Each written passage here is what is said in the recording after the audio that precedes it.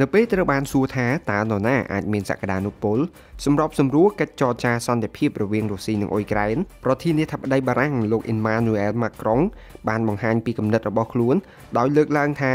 លោកដូណាល់ត្រាំនឹងចាញ់ឆ្នោតហើយមិនអាចចូលកាន់កាប់សេតវិមានដើម្បីត្រួសត្រាយឲ្យមានដំណោះស្រាយចំពោះចំនួននោះបានឡើយ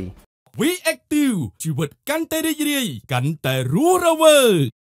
ក្នុងអំឡុងបទសម្ភាសជាមួយទូរទស្សន៍ Friend 2និង TIF1 TV កាលពីថ្ងៃប្រហ័សទី14ខែមីនាលោកម៉ាក្រុងនិយាយថាខ្ញុំត្រៀមខ្លួនរួចជាស្រេចសម្រាប់កិច្ចពិភាក្សានៅពេលណាក៏បានប៉ុន្តែយើងត្រូវការអ្នកដែលមានចិត្តស្មោះនិងសន្តិភាពដើម្បីធ្វើរឿងនេះខ្ញុំសង្ឃឹមថាពេលវេលានឹងមកដល់ថ្ងៃណាមួយដើម្បីចរចាជាមួយប្រធានាធិបតីរុស្ស៊ី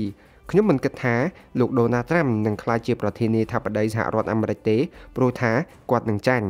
ស្របពេលជាមួយគ្នានោះដែរប្រធានាធិបតីបារាំងបានហៅទីក្រុងមូស្គូថាសត្រូវហើយជាថ្មីម្ដងទៀតលោកម៉ាក្រុងមិនបដិសេធលទ្ធភាពនៃការដាក់ពង្រាយទ័ព NATO នៅអ៊ុយក្រែននោះទេដោយបញ្ជាក់ឡើងវិញថាទីក្រុងប៉ារីសត្រៀមខ្លួនរួចជាស្រេចដើម្បីធ្វើអ្វីដែលចាំបាច់ដើម្បីការពារមិនឲ្យរុស្ស៊ីទទួលបានជ័យជំនះ ប្រធានាធិបតីបារាំងរូបនេះសង្កត់ធ្ងន់ថាទោះបច្ចុប្បន្នមិនទាន់មានការឯកភាពគ្នាបញ្ជូនកងទ័ពជើងគោកលោកខាងលិចដោយផ្ទាល់ទៅកាន់អ៊ុយក្រែនក៏ដោយប៉ុន្តែរឿងនេះមិនត្រូវទាត់ចោលនោះដែរហើយលោកនឹងធ្វើអ្វីគ្រប់យ៉ាងដើម្បីកុំឲ្យរុស្ស៊ីឈ្នះសង្គ្រាមរំលឹកតែខែមករាលោកម៉ាក្រុងធ្លាប់និយាយថាលោកនឹងធ្វើការជាមួយអ្នកណាក៏បានឲ្យតែឈ្នះការបោះឆ្នោតនៅសហរដ្ឋអាមេរិកដោយអះអាងថាខ្ញុំតែងតែមានទស្សនៈដូចគ្នាខ្ញុំជ្រើសរើសយកមេដឹកនាំដែលប្រជាជនផ្ដល់ឲ្យខ្ញុំ សូមបញ្ជាក់ប្រធានាធិបតីអាមេរិកโจ Biden និងអតីតប្រធានាធិបតី Donald Trump ត្រូវប៉ះគ្នាជាថ្មីក្នុងការបោះឆ្នោតខែវិច្ឆិកាគណៈការស្ទង់មតិថ្មីថ្មីបង្ហាញថាលោកត្រាំនាំមុខគូប្រជែងដែលកំពុងកាន់អំណាចចន្លោះពី2ទៅ9ប